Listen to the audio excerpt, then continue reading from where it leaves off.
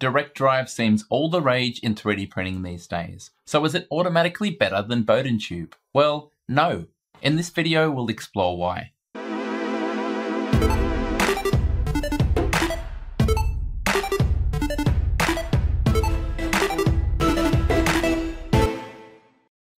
D printers typically come in two configurations, Direct Drive or Bowden Tube, but there's nothing to say you can't convert between the two. In fact, I've made several videos showing how to convert to direct drive in the past. So direct drive must be better, right?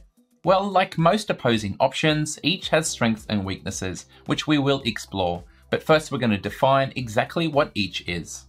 Here are two types of printers, one of them Bowden Tube and the other direct drive.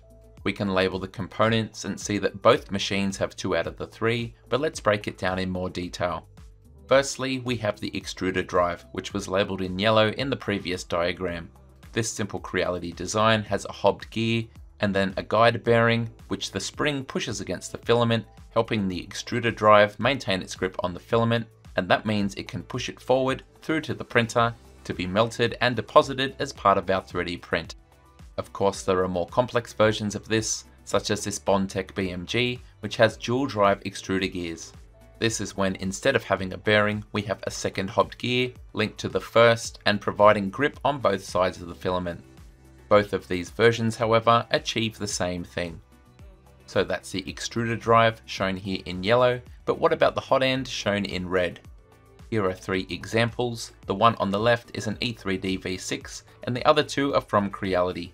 Their makeup is essentially the same. Filament enters from the top through a cold zone kept cool via a fan blowing on a heatsink, into the heater block, which of course has the heater cartridge, where it's melted and then is extruded out of the nozzle on the bottom. Again, there are variations on the design, but the purpose is always the same, melt and deposit filament as it's pushed through the hot end. Every 3D printer shares these two components, but not all of them have a Bowden tube, shown here in orange. A Bowden tube is simply a length of PTFE tube, the inside of the tube is hollow, which provides a fairly constrained path for the filament to slide through the middle. And because PTFE is a low friction material, resistance is minimal. So that's all of our relevant components in isolation, so let's see how they work together for each of these systems. Our first example is direct drive, and it's still common to have a very short length of PTFE tube in between the extruder drive and the hot end. However, this is short, straight, and very constrained. More modern extruders, such as the BIQU-H2, has an even shorter path, with filament entry, drive gear, and nozzle tip all coming in under 60mm. Here's a direct drive extruder fitted to the machine. We feed in the filament through the top, through the drive gears and out the nozzle, without a length of PTFE tube in sight. Now let's compare the Bowden tube setup the same extruder drive, except this time a much longer length of PTFE tube in between the extruder drive and the hot end. As we feed filament through the system, we can see through the translucent tube the filament making its way along to the hot end. And here's the same type of system in place on a printer. We have our drive gear exiting into some PTFE tube. The filament is guided by the Bowden tube towards the hot end where it's melted and once again is extruded out of the nozzle. Here's the whole system, extruder drive, Bowden tube, followed by the hot end. Hopefully that's clear, so here's a quiz. This setup uses PTFE tube in between the filament spool and the extruder drive, so is it a Bowden setup? The answer is no, because the tube is not in between the drive gear and the hot end. This is what we call a reverse Bowden tube, and it can be used on either a direct drive or a Bowden tube system. Hopefully if it wasn't clear for you before, it's now clear the difference between direct drive and Bowden tube. With that out of the way, let's start to explore strengths and weaknesses. We're going to start with assessing a Bowden tube setup, and these are very commonly found on new 3D printers, where achieving good quality isn't really a problem. The major strength of a Bowden tube setup is the lightweight print head. In a Bowden setup, the moving mass is kept to a minimum and that's because the print head only consists of the hot end and a part cooling fan. And that lightweight means less ringing for an equivalent feed rate and acceleration. Here we see my rat rig printing with the same feed rate but vastly different acceleration. As you can see, the higher acceleration provides a much more violent movement as seen on the right. That fast movement introduces vibration, which comes out in the print as ringing. The lower we can keep this mass, like with a Bowden tube, the less ringing we should have. But there are downsides, and it basically comes down to having less control of the filament delivery. Here's a Tronxy Core XY 3D printer that I previously reviewed, and it had an excessively long Bowden tube setup, which made retraction a nightmare. The end result, hard to tune out stringing. So why is this? So as we saw earlier, the filament slides smoothly inside the PTFE tube. However, if we try to constrain it with a really tight fit, it's going to add some friction. Therefore, we need a slightly looser fit to ensure nothing binds, and that means the filament is free to flex inside, and the longer the Bowden tube, the greater the disconnect between the extruder drive and the hot end, and the more inaccuracy we have to deal with. So back to that Tronxy with the really long tube, no matter how much tuning I did, it was very hard to get rid of the stringing. That's not to say that you can't eliminate stringing with a Bowden tube setup, because most of the time you can, even with flexible filaments. The point is, it's just going to be easier with a direct drive setup. When we evaluate direct drive, we get the opposite attributes.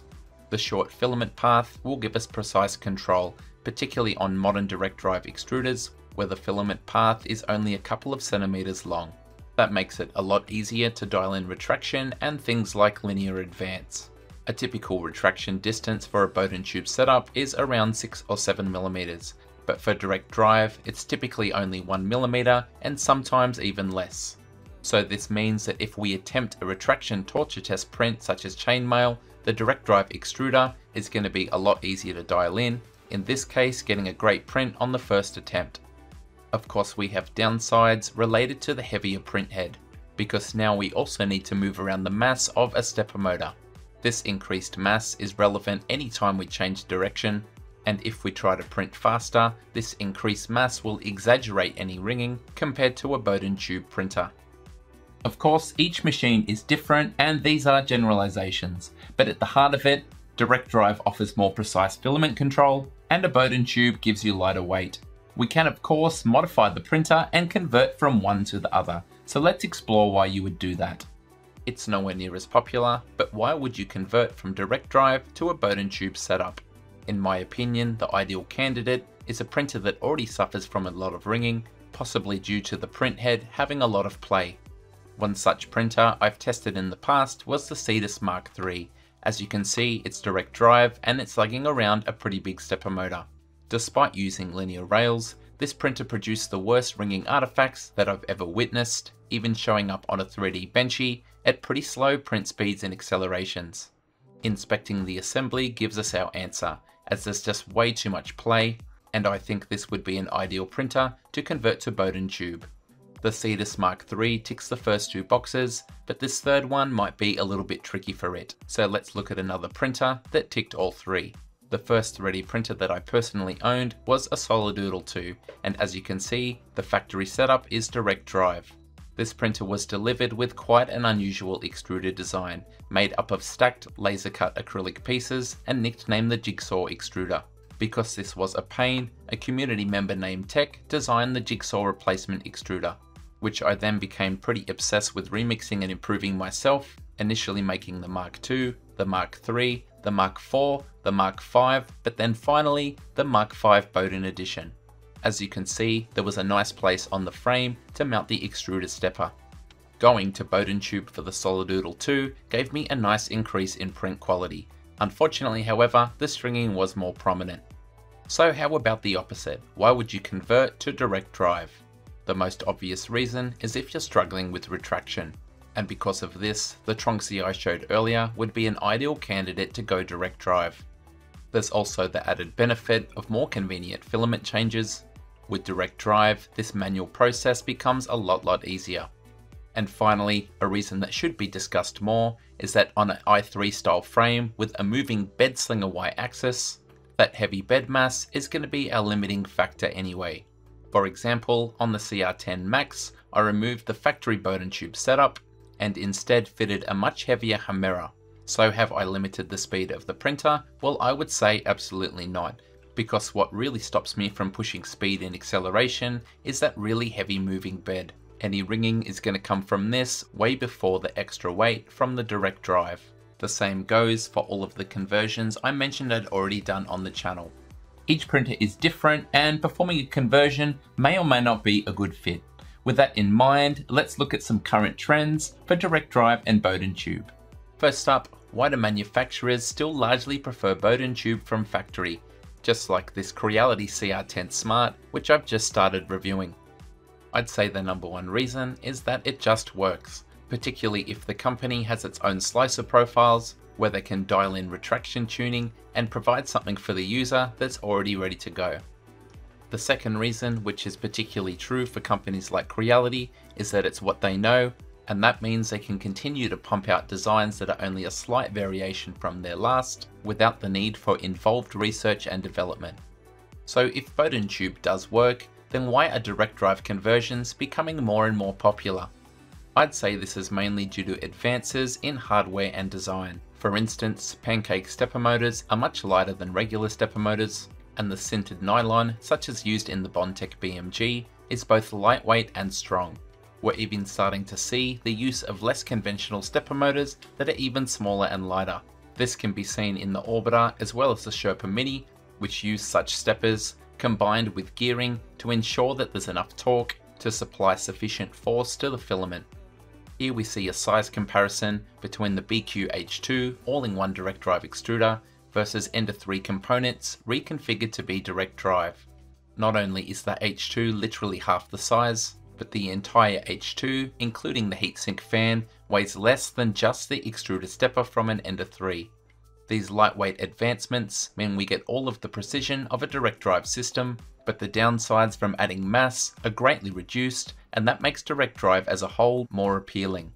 In short, recent direct drive developments minimize compromise, offering precise filament control as well as relatively low mass. Before we finish, however, one thing. You might be wondering if there's a third option, a hybrid between Bowden tube and direct drive. The answer is yes. Available for a while now, we have the FlexDrive G5 and the Zesty Nimble, with each of these designs aiming to combine the best of both worlds. We mount our extruder stepper remotely, just like with the Bowden tube, but then we use a long flex drive cable that goes into a very minimal and lightweight extruder drive, which due to its minimal parts is extremely lightweight. On paper, this approach should be the best setup, but for whatever reasons, popularity remains limited. Hopefully you can see now the difference between the two, and although new direct drive all-in-one kits are all the rage, Bowden Tube 3D printers still have their upsides and are probably here to stay please head to the comment section and let me know which one that you prefer. Thank you so much for watching and until next time, happy 3D printing.